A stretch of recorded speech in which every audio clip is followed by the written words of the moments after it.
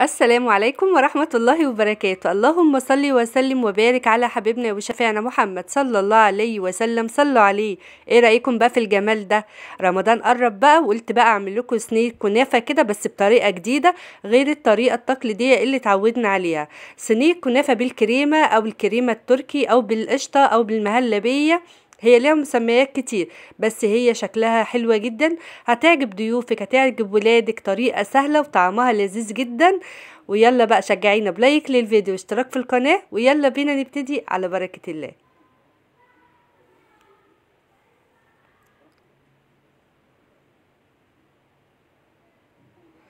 بسم الله الرحمن الرحيم. أول حاجة هبتدي بيها الشربات أو ال syrup. معايا كده كوبايتين كبار من السكر. وبنفس الكوباية هعاير بيهم 3 كوبايات من المية. يبقى كوبايتين سكر. كوبايات اللي هي الحجم الكبير عليهم 3 كوبايات مية بنفس الكوباية. أنا طبعا ببتدي بالسيرب الأول أو الشربات علشان أنا عايزاه يكون بارد ويكون جاهز معايا وركناه على جنب. وعليهم كده نص عصرة ليمونة نص ليمونة معصورة وأرفعهم على النار وأول ما يبتدي معايا بالغليان هنزل عليهم بمعلقة من عسل الكلوكوز. لو متوفر عندك حطيها مش متوفر خلاص بس العسل بتاع الكنافة بيبقى لا تقيل قوي ولا خفيف قوي بيبقى في الوسط يعني. سبع تمن دقايق أو عشر دقايق وأروح طافية عليه وأركنه بقى على جنب يبرد. معايا بقى إيه نص كيلو من الكنافة. أنا بحب أجيب الكنافة قبليها بيوم أو يومين وبيتها في الفريزر. بتطلع بتلجها كده. ابدأي بقى فرفطيها بإيدك كده عادي جدا خالص. ممكن تعمليها بإيدك زي ما إحنا ما متعودين. بس الصراحة أنا النهاردة قلت أنا هضربها في الكبة. لما بتضربيها في الكبة بتبقى ناعمة جدا وهوريكي قوامها. هتديكي نتيجة حلوة جدا زي بتاعة المحلات. بالظبط. أبدأ بقى دلوقتي كده أحطها في الكبة. طبعا الكبة دي دلوقتي زيها زي الخلاط في المطبخ يعني لا غنى عنها. الناس اللي بقى اللي ما جابتش لسه الكبة دي يعني واحدة واحدة كده وهاتيها لأنها مهمة جدا دلوقتي في المطبخ يعني لا غنى عنها. بص بقى القوام بتاعها لما ضربتها في الكبة. هتديكي نعومة وبص مفرفطة خالص إزاي؟ هو ده القوام بتاع الكنافة اللي أنا عايزاه. هبدأ برضو هضرب كل الكمية برضو في الكب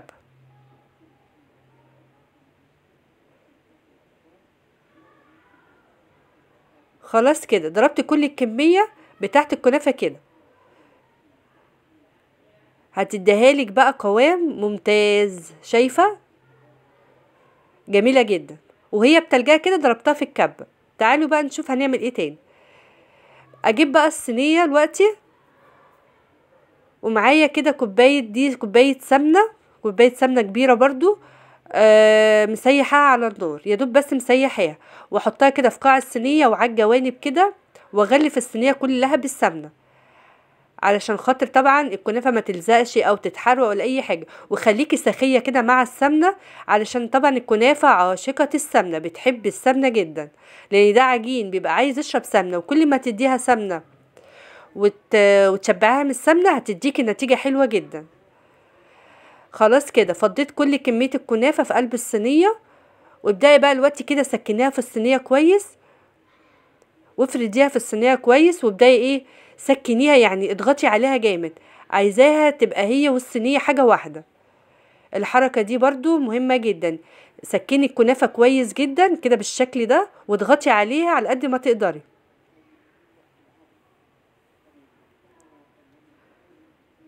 تمام جدا.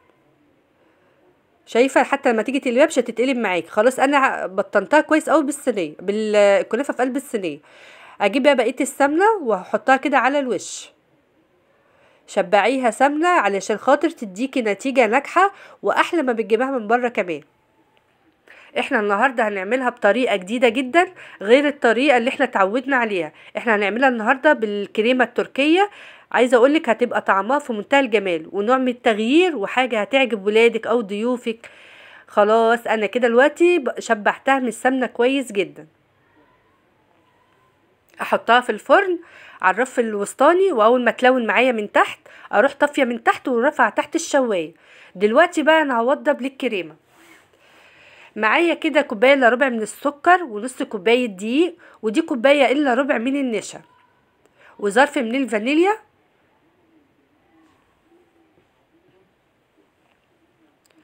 وهنزل عليهم كده بلتر من الحليب أو اللبن.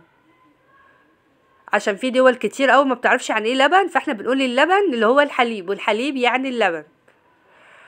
يبقى أنا حطيت هنا معايا كوباية إلا ربع من السكر عليهم نص كوباية دقيق تلات ارباع كوباية من النشا بنفس الكوباية اللي هتحيري بيها. وبعد كده نزلت عليها بظرف من الفانيليا ولتر من اللبن أو الحليب وهرفعهم على النار بس قبل ما ارفعهم على النار طبعا قلبتهم كويس جدا. بعد كده برفعهم على النار هتديك القوام ده.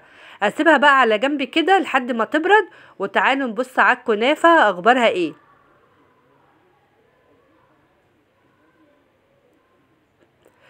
خلاص كده الكنافة لونت معايا من تحت وبعد كده طفيت من تحت وشغلت الشواية. هتطلع معاكي كده. وأول ما تطلع طبعا أنا الصينية سخنة جدا والعسل بارد فاروح ساقية على طول. يبقى الكنافه سخنة جدا والعسل بارد بروم ساقياها تفضلي بقى سايباها كده لحد ما تتشرب كويس واسقيها كويس قوي بالشربات بتاعها. وهسيبها على جنب لحد إيه؟ ما تتشرب. خلاص الكريمة بردت معايا أهي. هنزل عليها دلوقتي دول معلقتين كبار من كريم شانتيه. كريم كبار من كريم شانتيه وبعد كده أضربهم كده على الكريمة أو المهلبية اللي إحنا عملناها وسبناها تبرد وتضربيها بالمضرب الكهربائي. هتطلع معاكي كده تضربيها كويس قوي عايزة أقولك طعم الكريمة نفسها يعني جميلة جدا. جربي الطريقة دي طريقة جديدة بس صراحة ممتازة. عايزة أقولك الصينية أول ما اتعملت يعني اتنسفت كده من حلاوتها بصراحة. جربيها وإن شاء الله هتعجبكم جدا. وحاجة كده هتعجب ولادك هتعجب أهل بيتك هتعجب ضيوفك حاجة جديدة وكمان طعمها حلو جدا.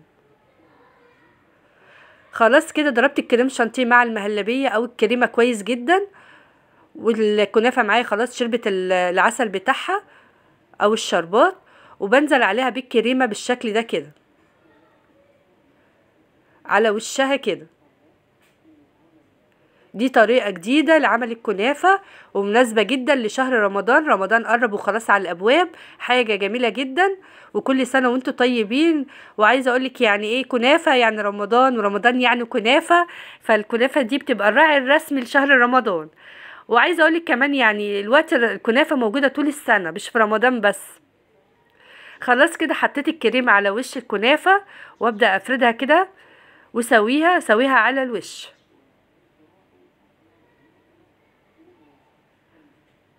ببدأ بقى أفرد الطبقة كده كويس قوي عليها.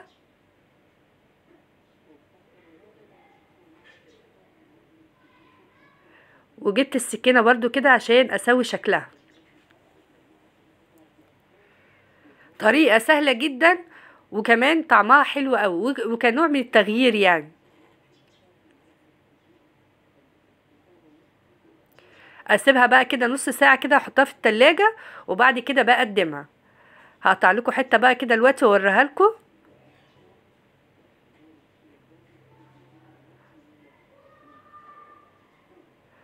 شايفة شكلها؟ جميلة جدا والطعم أحلى كمان. هتلاقي بقى كده الكنافة كده شاربة العسل بتاعها وعليها كده القشطة أو الكريمة التركي دي. طعم بجد في منتهى الجمال. حاجة كده يعني جربيها هتعجبكم جدا. طبعا دلوقتي انت حابة تحطي مثلا ترش على الورش الصينية كلها كده قرفة براحتك خالص. حابة تحطي أي نوع مكسرات اللي انت عايزاه براحتك برضو. بس طبعا في ناس بتحب عليها مكسرات وناس لأ. فأنا طبعا عندي هنا في بيحب مكسرات وفي بيحب لأ. فأنا طبعا هحط لهم المكسرات على جنب للي عايز يحط واللي عايز إيه آه كده سادة. فطبعا بصي بقى دلوقتي دي كده قدمنا واحدة من غير أي مكسرات خالص. تعالوا بقى نحط على دي كده شوية زبيب وجوز هند كده عليها. أدي رشة الجوز الهند وعليها الزبيب.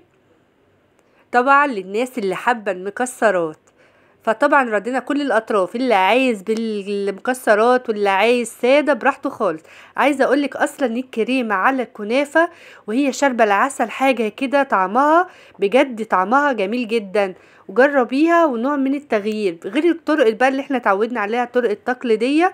فطبعا الكريمة على الكنافة دي حاجة في منتهى الجمال والروعة. وكل سنة وأنتم طيبين وتعملوها وبألف هنا وشفا.